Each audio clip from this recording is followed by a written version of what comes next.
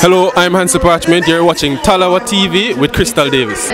Before I forget my manners, I haven't seen you since the World Cup qualification, so congratulations. Thank you very much. Thank you, thank you. Uh, buzzing to be back here, well, for the girls to be back in the World Cup and for me to go to my first one. So, yeah, no, it was a really big achievement for all of us. Has it all sunk in yet? Yeah, I think now it has, and I think we're just prepping really to have as many camps as we can, make sure that obviously we just came back from Korea, playing against different opponents around the world, and just making sure that you know we're training all together and just um, working on stuff going into the World Cup next year. As you said, it's your first ever World Cup qualification. How did the family react?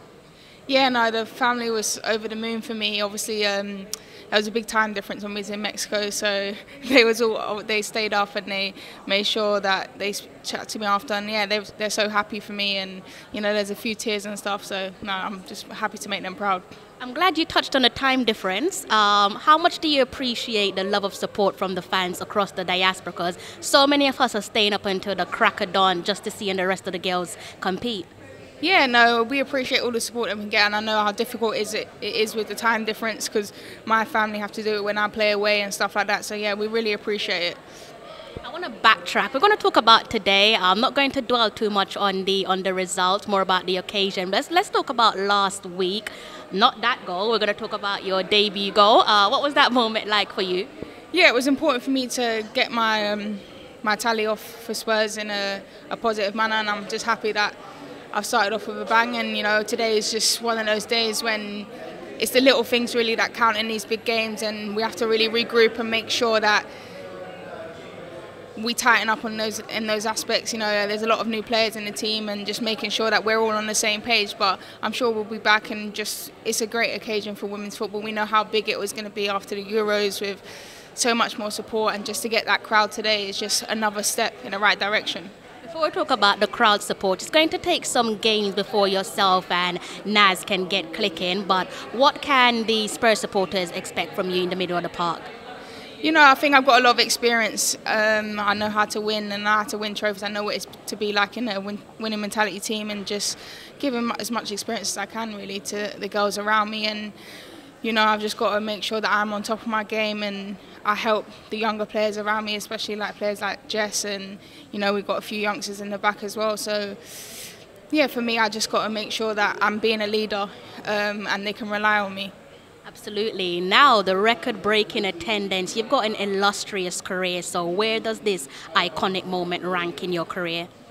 Yeah, no, I think it's up there for because you don't really get this attendance really in league games. I know sometimes it can be a cup final when there's a big crowd and stuff like that, but to get this in a league game just shows the progression that the sport's made and I think everyone that's involved in women's football at the moment is just so proud of how, how far it's come and it's just about now pushing on to make sure that we can get these near enough these crowds regularly. Before you go, next month, all important World Cup draw. Who's your dream matchup?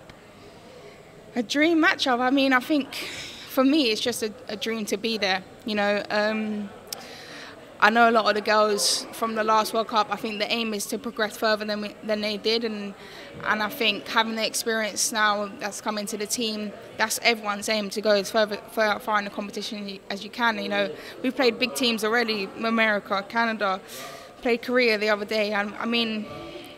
To have a dream matchup, we could say maybe Morocco. So I play against one of my teammates, but then I guess you know there's a bit of banter with that because we we know that we can beat them, but they think they can beat us. So oh really? Yeah. So I mean, it's just just to play anyone, just to be in that occasion. I think for me personally, is just going to be a dream come true. What about England? Because that's what the fans want. The fans want the, the, the girls in the black, gold, and green, the Reggae Girlz up against the lionesses.